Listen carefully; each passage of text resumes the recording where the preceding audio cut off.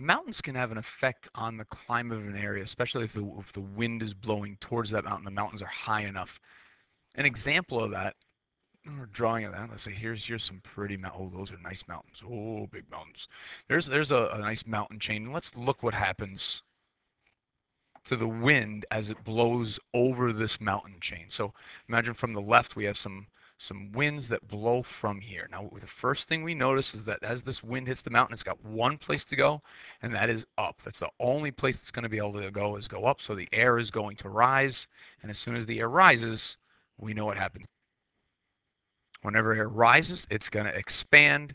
As it expands, it cools. We have condensation. So on this side of the mountain, we tend to have a lot of clouds and if you have a lot of clouds on this side of the mountain, that's where you're going to get most of your rain. A lot of moisture. So the moisture that is in the air is going to be uh, squeezed out of the air. It's going to rain. It's going to, on this side of the mountain, we're going to have a lot more moisture than the other. So the air is going to keep moving, though. Now that it is a little bit drier, the air now comes over to this side. And instead of rising and expanding, now we have the exact opposite. It's now it's sinking now. So instead of condensation, we have a lot of evaporation on this side, which makes this side of the mountain warmer, and it also makes this side of the mountain a lot drier. So we have two sides of the mountain, and we give them certain names. The side, in, in this diagram, the left-hand side, remember this could be switched around, but the side that the wind hits, we call the windward side. This other side is called the leeward side.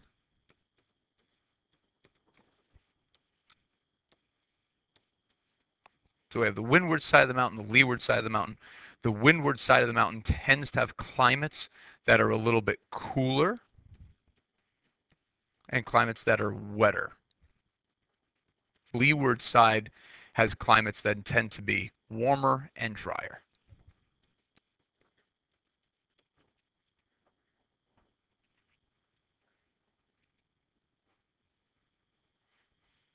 Sometimes these dry leeward sides are so dry that they're actually turned the area into a desert, and they're called rain shadow deserts.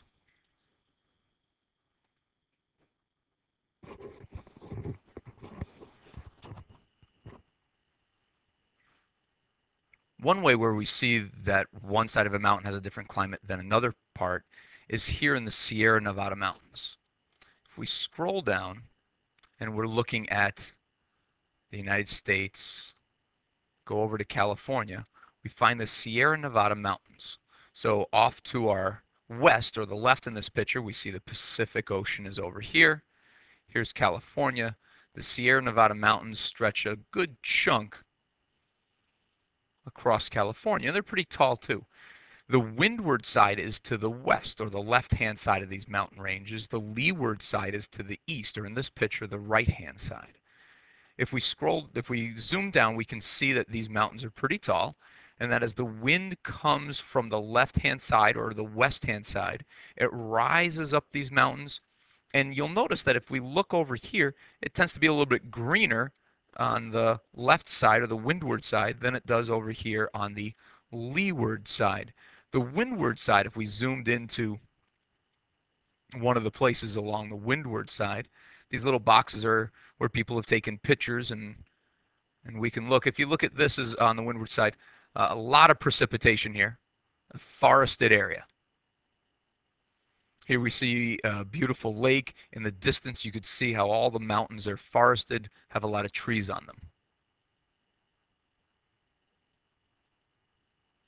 Again, we see forested area, all that snow, great deal of precipitation. Here we see Camp Chawanakee, and again, a lot of a lot of vegetation. Must be a lot of rain on this side that supports all of that vegetation. A, a lot of water. Now let, let's compare that. Let's contrast that to the leeward side. So we're just going to go over to the other side of the mountains. This is the leeward side where we don't see as much, and we see a stark difference. Here we don't see a lot of vegetation. It's very dry. And we have a lot of sand dunes here. This is a desert.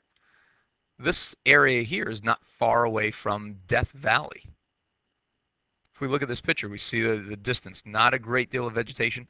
This is just a little distance away from where Death Valley is.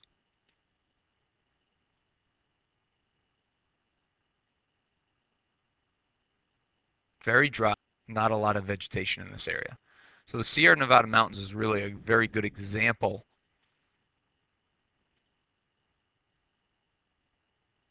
of how mountains can affect the climate of an area.